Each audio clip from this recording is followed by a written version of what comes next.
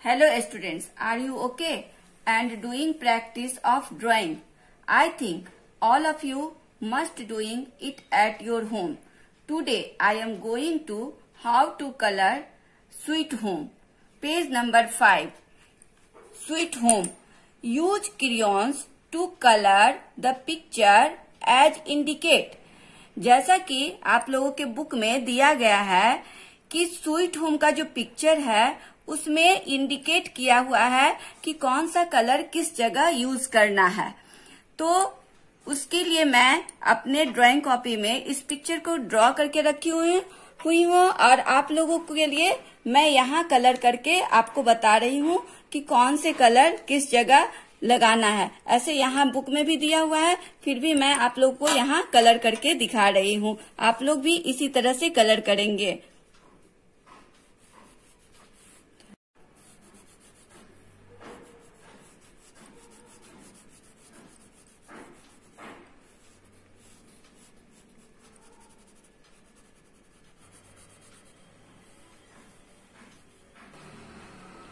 अब जैसे यहाँ रूफ में ब्राउन कलर दिया हुआ है तो मैंने इसे ब्राउन कलर से फिलअप किया है।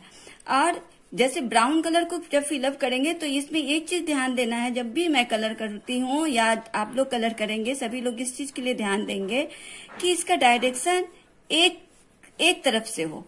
जैसे कि मान लो जिस लाइन का जिस जिस तरह से डायरेक्शन किया गया है, उसी तरह से मेरा मूवमेंट भी हैंड का मूवमेंट जो कलर करते हैं, उस वक्त उसी डायरेक्शन में होना चाहिए। नहीं नहीं तो कभी कभी ऊपर से, कभी नीचे से ऐसा नहीं करना है। सिर्फ़ एक डायरेक्शन में करेंगे। और उसके बाद यहाँ पे मैंने येलो कलर का यूज़ किया है। जैसा कि आपके बुक में दिया गया है, जहाँ येलो कलर है येलो कलर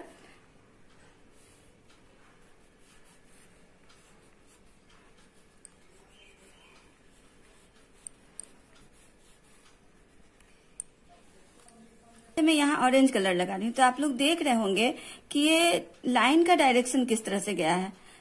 इस सेप सीध में लाइन बना हुआ है। उसी तरह से सीध से मैं यहाँ अपने कलर को भी करने का तरीका दिखा रही हूँ आप लोगों को कि इसी तरह से कलर करेंगे। और यहाँ पे जैसे कि ओवल शेप में यहाँ रेड कलर किया हुआ है, जो रोशनदान है वेंटिलेटर जिसको हम लोग बोलते हैं, उसमें रेड कलर का यूज़ किया गया है। तो इस तरह से, जैसे राउंड शेप में तो बस इसको ऐसे गोल गोल ही घुमाएँगे।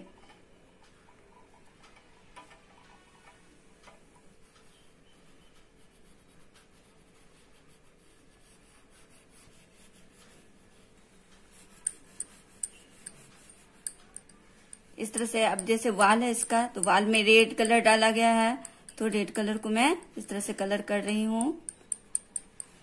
यहाँ पर वैक्स क्रियॉन्स लिखा हुआ है। क्रियॉन्स तो क्रेयॉन्स कलर का ही यूज़ करेंगे। ऐसे जिसके पास पेंसिल होगा, पेंसिल कलर का भी यूज़ कर सकते हैं। ऐसा कुछ भी नहीं है कि नहीं यूज़ कर सकते हैं, लेकिन बुक में क्रियॉन्स ही लिखा गया है। इसलिए मैं यहाँ क्रियॉन्स ही कर रही हूँ। वाले में ब्लू कलर। तो ये ब्लू कलर का वाल है तो मैं ब्लू कलर लगा रही हूँ इसमें।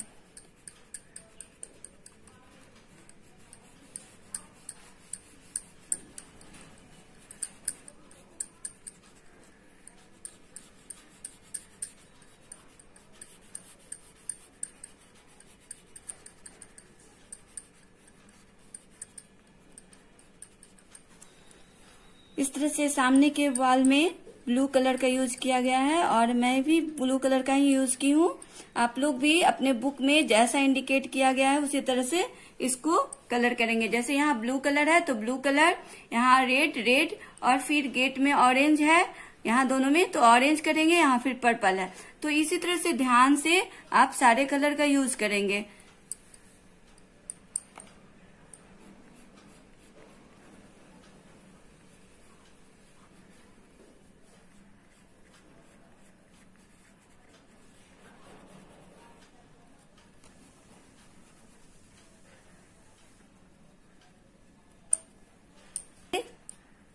सामने का ग्राउंड है। तो उस ग्राउंड में ग्रीन कलर का यूज़ करना है। वहाँ ग्रीन कलर जैसे ग्राउंड में घास वास निकल जाता है तो उसी को दिखाना है ग्रीन थोड़ा सा पार्ट सामने का। तो वो ग्रीन कलर से किया हुआ है। मैं भी यहाँ ग्रीन कलर करके आप लोग को दिखा रही हूँ। देखेंगे कैसे किया हुआ है।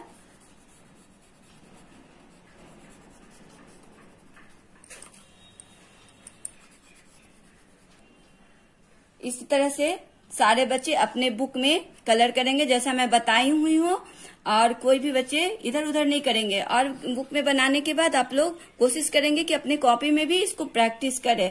That's all thank you